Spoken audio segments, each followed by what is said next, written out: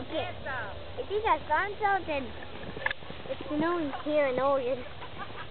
In the oh my oh I got I found something. I think there's some fossil. No, it's just a, yeah. Can't be something in there, could it? You know. What you got there? Whoa. Looks like a block of snow. Yeah. Is it a block of snow? Yeah, it is. Or is it a fossil? How do you know it's a fossil? Because I found something. Is it from is it from the ice age? From long ages ago? Many years ago? You think? What do you think is in it? Ooh, hold on.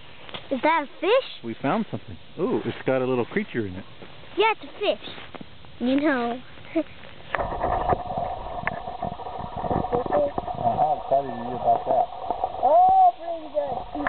It's really snowing here. Now you can come with me and look at other things in science. Okay, let's go hike back from the wilderness Yeah. to the house. This is where are we in the wilderness? Well, we're actually at the circle park.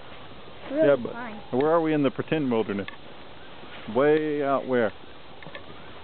Daddy, Come on. uh, in Africa, Africa, Kilimanjaro, Mount Kilimanjaro, Mount Kilimanjaro. and the deep forest where nobody's ever been. The deep We're the first first people to be there, aren't we? Yeah. Has anybody ever been here before? No.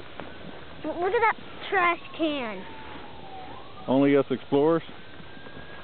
Stop it, Dad. This is houses all around us. You know what what? houses? There are no houses. This See? No houses. Oh, garbage can. Well, I don't know why that's doing there. Uh, this Must have been the Bigfoot put that garbage can there. Stop it now! Was it the Yeti? Stop it! This is the circle part. Doing today at Oregon. It's really fun. And this is our working dog right here, Stop it! Ruby.